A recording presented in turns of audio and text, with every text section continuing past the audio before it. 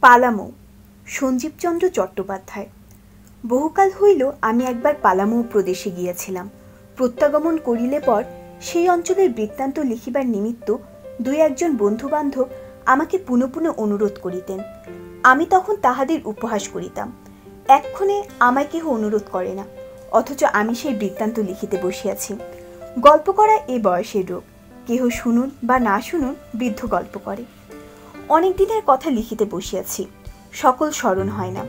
পূর্বে লিখিলে যাহা লিখিতাম, এক্ষণে যে তাহাই লিখিতেছি এমন নহে। পূর্বে সেই সকল নির্জন পর্বত, কুসুমিত কানন প্রভৃতি যে চক্ষে দেখিয়াছিলাম, সে চক্ষু এখন আর নাই। এখন কি পর্বত কেবল প্রস্তরময়, বন কেবল কণ্টকাকীর্ণ, অধিবাসীরা কেবল কদাচিরি বলিয়া স্মরণ হয়। যখন পলামৌ আমার যাওয়া একান্ত স্থির হইল, তখন ইংল্যান্ড ট্রানজিট কোম্পানির ডাকগাড়ি ভাড়া করিয়া রাত্রি দেড় প্রহরের সময় রানীগঞ্জ হইতে যাত্রা করিলাম। তাতে বরাকর নদীর পূর্ব পারে গাড়ি থামিল নদী অতি ক্ষুদ্র। তৎকালে অল্পমাত্র জল ছিল। সকলেই হাঁটিয়া পার হইতেছে। গাড়ি ঠেলিয়া পার করিতে হইবে, অতএব গাড়োয়ান কুলি ডাকিতে গেল। এমন সময় কুলিদের কতকগুলো বালক বালিকা আসিয়া আমার গাড়ি ঘেরিল। সাহেব একটি পয়সা, সাহেব একটি পয়সা এই বলিয়া চিৎকার করিতে লাগিল। তাহাদের সঙ্গে একটি দুই বৎসর বয়স্ক শিশু আসিয়া আকাশের দিকে মুখ তুলিয়া হাত পাতিয়া দাঁড়াইল।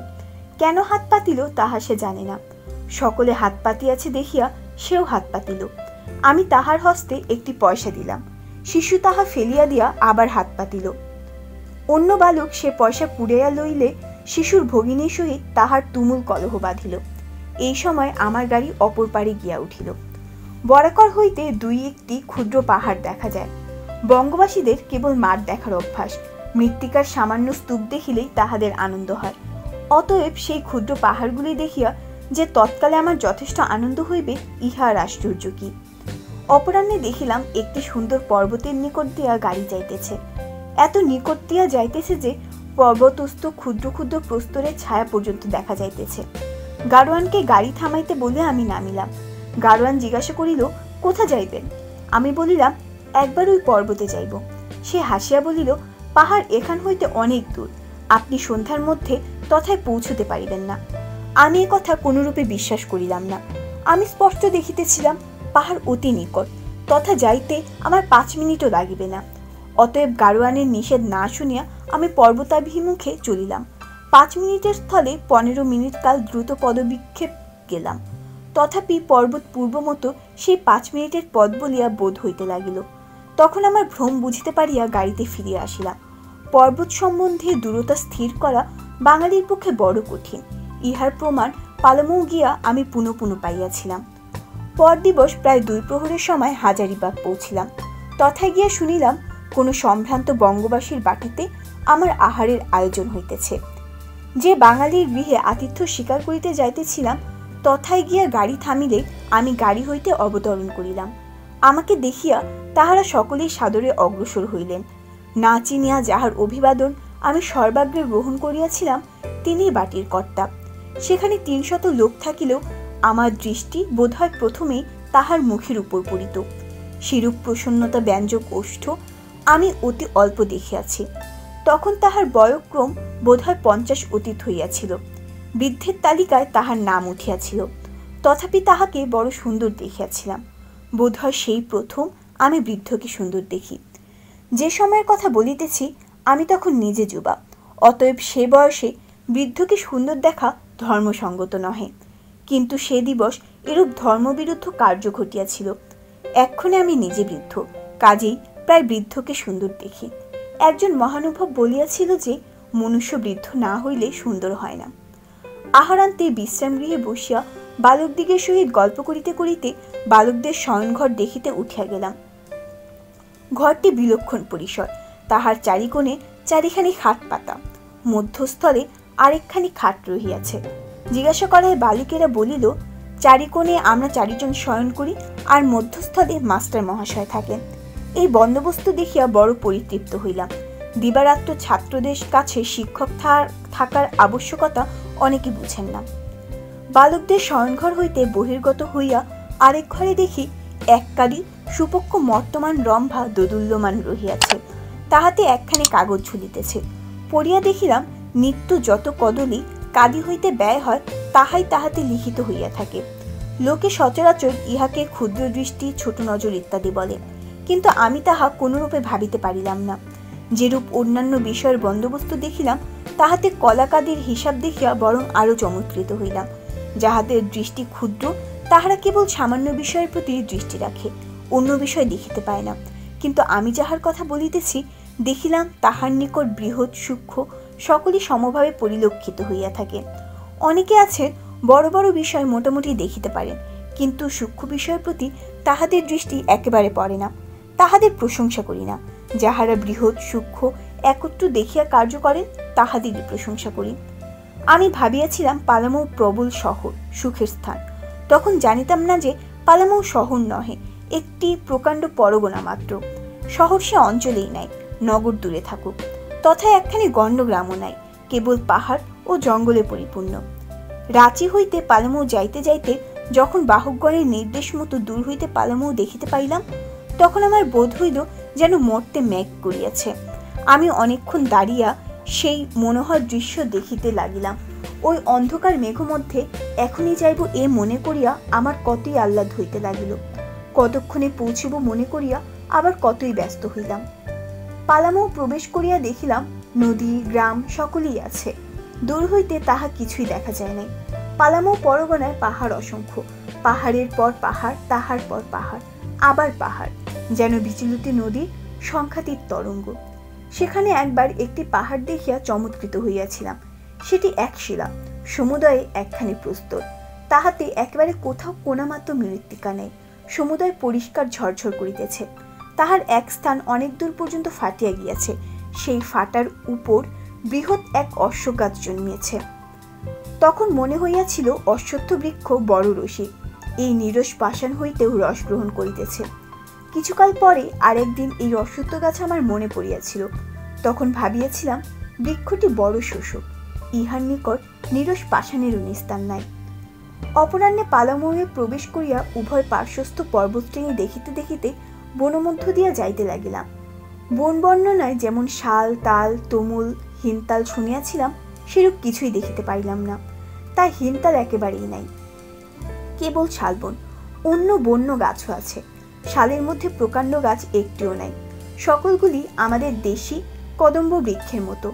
না হয় কিছু বড়। কিন্তু তাহা হইলেও জঙ্গল অতি দুর্গম, কোথাও তাহার ছেদ নাই, এই জন্য ভয়ানক। এরূপ বন্দিয়া যাইতে যাইতে এক স্থানে হঠাৎ কাষ্ঠঘণ্টার বিস্ময়কর শব্দ কর্ণগোচর হইল। কাষ্ঠঘণ্টা পূর্বে মেদিনীপুর অঞ্চলে দেখিয়াছিলাম। গৃহপালিত পশু বনে পথ হারাইলে শব্দানুসরণ করিয়া তাহাদের অনুসন্ধান করিতে হয়, এই জন্য গলঘণ্টার উৎপত্তি। কাষ্ঠঘণ্টার শব্দ শুনিলে প্রাণের ভিতর কেমন করে? পাহাড় জঙ্গলের মধ্যে সে শব্দে আরও যেন অবশূন্য করে। কিন্তু সকলকে করে কিনা তাহা বলিতে পারি না। অল্প বিলম্বে অর্ধশুষ্ক তৃণাবৃত একটি ক্ষুদ্র প্রান্তর দেখা গেল। এখানে সেখানে দুই একটি মধু বা মোয়া বৃক্ষ ভিন্ন, সে প্রান্তরে গুলমুখীলতা কিছুই নাই, সর্বত্র অতি পরিষ্কার। পর্বত ছায়ায় সে প্রান্তর আরও রম্য হইয়াছে। তথায় কতকগুলি কোলবালক একত্র মহিষ চড়াইতেছিল। সেরূপ কৃষ্ণবর্ণ কান্তি আর কখনো দেখি নাই। সকলের গলায় পুতির সাত নড়ি। ধুকধুকির পরিবর্তে এক একখানি গোল আরশি। পরিধানে ধরা কর্ণে বনফুল। কেহ মহিষপৃষ্ঠে শয়ন করিয়াছে, কেহ বা মহিষপৃষ্ঠে বসিয়া আছে, কেহ কেহ নৃত্য করিতেছে। যেরূপ স্থান তাহাতে এই পাথুরে ছেলেদের উপযোগী বলিয়া বিশেষ সুন্দর দেখিতেছিল চারিদিকে কালো পাথর পশু ও পাথুরে। তাহাদের রাখালো সেইরূপ। এই অঞ্চলে প্রধানত কোলের বাস, কোলেরা বন্য জাতি, খর্বাকৃতি, কৃষ্ণবর্ণ। দেখিতে কুৎসিত কি রূপবান তাহা আমি মীমাংসা করিতে পারি না। যে সকল কোল কলকাতা আসছে বা চা বাগানে যায়, তাহাদের মধ্যে আমি কাহাকেও রূপবান দেখি নাই, বরং অতি কুৎসিত বলিয়া বোধ করিয়াছি। কিন্তু স্বদেশে কোল মাত্রেই রূপবান, অন্তত আমার চক্ষে। বন্যেরা বনে সুন্দর, শিশুরা মাতৃক্রোড়ে প্রান্তরের পর এক ক্ষুদ্র গ্রাম। তাহার নাম স্মরণ নাই। তহায় ত্রিশ বত্রিশটি গৃহস্থ বাস করে। সকলেরই পর্ণকুটির। আমার পালকি দেখিতে যাবতীয় স্ত্রীলোক ছুটিয়া আসিল। সকলেই আবলুসের মতো কালো, সকলেই যুবতী। সকলের কোটি দেশে একখানি করিয়া ক্ষুদ্র কাপড় জড়ানো। কর্ণে ক্ষুদ্র ক্ষুদ্র বনফুল। মাথায় বড় বড় বনফুল। যুবতীরা পরস্পর কাঁধ ধরাধরি করিয়া দেখিতে লাগিল। বাঙ্গালার পথে ঘাটে বৃদ্ধাই অধিক দেখা যায়। কিন্তু পালামৌ অঞ্চলে যুবতী অধিক দেখা যায়। কোলের মধ্যে বৃদ্ধা অতি অল্প। তাহারা অধিক বয়সী হইলেও যুবতীই থাকে। অশীতি পরায়ণা না হইলে তাহারা লোলচর্মা হয় না। অতিশয় পরিশ্রমী বলিয়া গৃহকার্য, কৃষিকার্য সকলেই তাহারা করে থাকে। পুরুষেরা স্ত্রীলোকের ন্যায় কেবল বসিয়া সন্তান রক্ষা করে। কখনো কখনো চাটাই বুনে। আলস্য জন্য পুরুষেরা বঙ্গ মহিলাদের ন্যায় শীঘ্র বৃদ্ধ হইয়া যায়। স্ত্রীলোকেরা শ্রম হেতু চির যৌবনা থাকে। লোকে বলে পশুপক্ষীর মধ্যে পুরুষ জাতি বলিষ্ঠ ও সুন্দর। মানুষ মধ্যেও সে নিয়ম। কিন্তু কোলদের দেখিলে তাহা বোধ হয় না। তাহাদের স্ত্রী জাতিরাই বলিষ্ঠ ও আশ্চর্য কান্তি বিশিষ্টা। কিন্তু তাহাদের বয়প্রাপ্ত পুরুষদের গায়ে খুঁড়ি উঠিতেছে চোখে মাছি উড়িতেছে, মুখে হাসি নাই, যেন সকলেরই জীবনী শক্তি কমিয়া আসিয়াছে। একদিনের কথা বলি, যেরূপ নিত্য অপরাহ্নে এই পাহাড়ে যাইতাম, সেরূপ আরেক দিন যাইতেছিলাম। পথে দেখি একটি যুবা বীরদর্পে পাহাড়ের দিকে যাইতেছে। পশ্চাতে কতকগুলি স্ত্রীলোক তাহাকে সাধিতে সাধিতে সঙ্গে যাইতেছে। যখন আমি নিকটবর্তী হইলাম, তখন স্ত্রীলোকেরা নিরস্ত হইয়া এক পার্শ্বে দাঁড়াইল। বৃন্দাত্ম জিজ্ঞাসা করায় যুবা সদর্পে বলিল, আমি বাঘ মারিতে যাইতেছি। এইমাত্র আমার গরুকে বাঘে মারিয়াছে। আমি ব্রাহ্মণ সন্তান। সে বাঘ না মারিয়া কোন মুখে আর জল গ্রহণ করি? আমি কিঞ্চিত অপ্রভীত হইয়া বলিলাম, চলো, আমি তোমার সঙ্গে যাইতেছি। সে স্বভাবত বড় ভীতু। তাহা বলিয়া ব্যাঘ্র ভল্লুক সম্বন্ধে আমার কখনো ভয় হয় নাই। বৃদ্ধ শিকারীরা কতদিন পাহাড়ে একাকী যাইতে আমায় নিষেধ করিয়াছে, কিন্তু আমি তাহা কখনো গ্রাহ্য করি নাই। নিত্য একাকী যাইতাম, বাঘ আকশিবে আমাকে ধরিবে, আমায় খাইবে, এ সকল কথা কখনো আমার মনে আসিত না। কেন আসিত না তাহা আমি এখনও বুঝিতে পারি না। সৈনিক পুরুষদের মধ্যে অনেকে আপনার ছায়া দেখিয়া ভয় পায়। অথচ অম্লান বদনে রণক্ষেত্রে গিয়া রণ করে। গুলিকে তরবারি তাহার অঙ্গে প্রবিষ্ট হইবে, এ কথা তাহাদের মনে আইসে না। যতদিন তাহাদের মনে এ কথা না আইসে ততদিন লোকের নিকট তাহারা সাহসী। যে বিপদ না বুঝে সেই সাহসী। আদিম অবস্থায় সকল পুরুষই সাহসী ছিল। তাহাদের তখন ফলাফল জ্ঞান হয় নাই। জঙ্গলীদের মধ্যে অদ্যাপি দেখা যায়, সকলেই সাহসী। ইউরোপীয় সভ্যদের অপেক্ষাও অনেক অংশে সাহসী। হেতু ফলাফল বোধ নাই। আমি তাই আমার সাহসের বিশেষ গৌরব করি না। সভ্যতার সঙ্গে সঙ্গে সাহসের ভাগ কমিয়ে আসে। পেনাল কোড যত ভালো হয়, সাহস তত অন্তর্হিত হয়। একদিন অপরাহ্নে পাহাড়ের দিকে যাইতেছিলাম। পথিমধ্যে কতকগুলো কোলকন্যার সহিত সাক্ষাৎ হইল। তাহাদের মধ্যে যে সর্বাপেক্ষা বয়োজ্যেষ্ঠা মাথায় পূর্ণ কলস দুই হস্তে ধরিয়া হাস্যমুখে আমায় বলিল, রাত্রে নাচ দেখিতে আসিবেন? আমি মাথা হেলাইয়া স্বীকার করিলাম। অমনি সকলে হাসিয়া উঠিল। কোলের যুবতীরা যত হাসে, যত নাচে, বোধহয় পৃথিবীর আর কোনো জাতির কন্যারা তত হাসিতে নাচিতে পারে না। আমাদের দুরন্ত ছেলেরা তাহার শতাংশ পারে না। সন্ধ্যার পর আমি নৃত্য দেখিতে গেলাম। গ্রামের প্রান্তভাগে এক বটবৃক্ষ তলে গ্রামস্থ যুবারা সমুদয় আসিয়া একত্রিত হইয়াছে। তাহারা খোপা বাঁধিয়াছে। তাহাতে দুই তিনখানি কাঠের চিরুনি সাজাইয়াছে। কেহ মাদল আনিয়াছে, কেহ বা লম্বা লাঠি আনিয়াছে। রিক্ত হস্তে কেহ আসে নাই। বর্ষের দশে সকলেরই দেহ চঞ্চল, সকলেই নানা ভঙ্গিতে আপন আপন বলবীর্য দেখাইতেছে। বৃদ্ধেরা বৃক্ষমূলে উচ্চ মৃন্ময় মঞ্চের উপর জড়বত আছে। তাহাদের জানু প্রায় স্কন্ধ ছাড়াইয়াছে। আমি গিয়া তাহাদের পার্শ্বে বসিলাম। এই সময় দলে দলে গ্রামস্থ যুবতীরা আসিয়া জমিতে লাগিল। তাহারা আসিয়া যুবাদিগের প্রতি উপহাস আরম্ভ করিল। সঙ্গে সঙ্গে বড় হাসির ঘোটা পড়িয়া গেল। উপহাস আমি কিছুহাই বুঝিতে পারিলাম না। কেবল অনুভব স্থির করিলাম যে যুবারা ঠকিয়া গেল। ঠকিবার কথা, যুবা দশ বারোটা। কিন্তু যুবতীরা প্রায় চল্লিশ জন। সেই চল্লিশ জন হাসিলে হাইল্যান্ডের পল্টন ঠকে। হাস্য উপহাস্য শেষ হইলে নৃত্যের উদ্যোগ আরম্ভ হইল। যুবতী সকলে হাত ধরাধরি করিয়া অর্ধচন্দ্রাকৃতি রেখাবিন্যাস করিয়া দাঁড়াইল। দেখিতে বড় চমৎকার হইল। সকলগুলি সম উচ্চ, সকলগুলি পাথুরে কালো। সকলের মাথায় বনপুষ্প কর্ণে বনপুষ্প, ওষ্ঠে হাসি। সকলেই আহ্লাদে পরিপূর্ণ, আহ্লাদে চঞ্চল। বৃদ্ধিরা ইঙ্গিত করিলে যুবাদের দল মাদুল বাজিল। অমনি যুবতীদের দেহ যেন শিহরিয়া উঠিল। পরেই তাহারা নৃত্য আরম্ভ করিল। তাহাদের নৃত্য আমাদের চক্ষে নতুন, তাহারা তালে তালে পা ফেলিতেছে। অথচ কেহ চলে না, দোলে না, টলে না। যে যেখানে দাঁড়াইয়া ছিল, সে সেইখানে দাঁড়াইয়া তালে তালে পা ফেলিতে লাগিল। নৃত্য আরম্ভ হইলে পর এক বৃদ্ধ মঞ্চ হইতে কম্পিত কণ্ঠে এক গীতের মোহরা আরম্ভ করিল। অমনি যুবারা সেই গীত উচ্চ কণ্ঠে গাহিয়া উঠিল। সঙ্গে সঙ্গে যুবতীরা তীব্রতানে ধুলা ধরিল। যুবতীদের সুরের ঢেউ নিকটের পাহাড়ের গিয়া লাগিতে লাগিল। যুবতীরা তালে তালে নাচিতেছে। তাহাদের মাথার বনফুল সেই সঙ্গে উঠিতেছে, নামিতেছে। আবার সেই ফুলের দুটি একটি ঝরিয়া তাহাদের স্কন্ধে পড়িতেছে। শীতকাল নিকটে দুই তিন স্থানে হু করিয়া অগ্নি জ্বলিতেছে। অগ্নির আলোকে নর্তকীদের বর্ণ আলো কালো দেখাইতেছে।